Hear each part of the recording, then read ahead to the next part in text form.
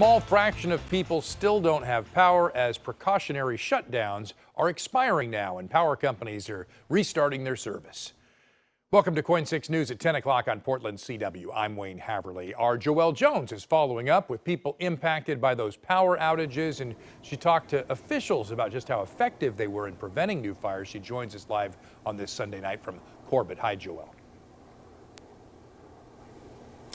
Hello, Wayne. Good evening to you. And yes, we are here in Corbett where we watched PGE crews carefully check and re-energize lines just a few hours ago. And while the power is back on here, as you mentioned earlier, more than a thousand customers are still in the dark. Some have been without power since early Friday.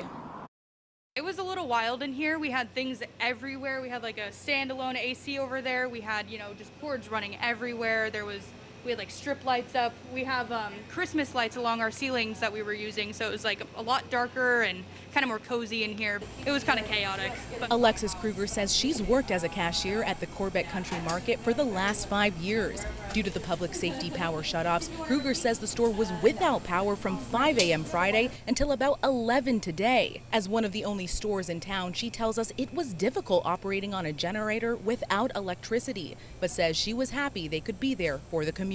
We sold a lot of ice, um, a lot of people trying to, you know, save their freezers and fridges. Um, we sold a lot of uh, batteries and candles, flashlights, those kinds of things. We were able to be here for the community as much as we could.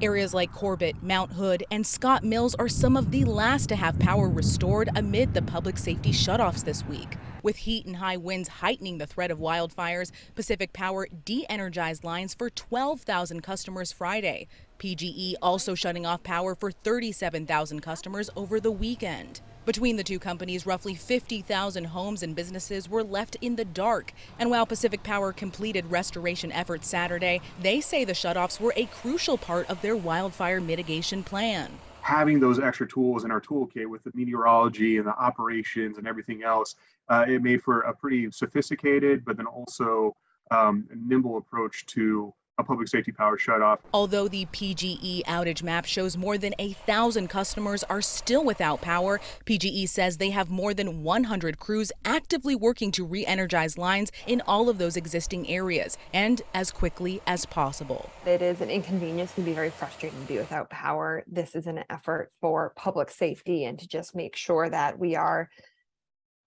protecting our customers, you know, their property and making sure everyone is as safe as possible. For residents like Kruger who have seen the risks, she tells us she would take a power outage over a wildfire any day. My mom's coworker over in Washington actually a power line went down and burned her shed down in her backyard. So it's a very prevalent threat and it's very real. Fires, they're powerful, it's scary. So I'm I would take a 10 more weekends like this for no fires.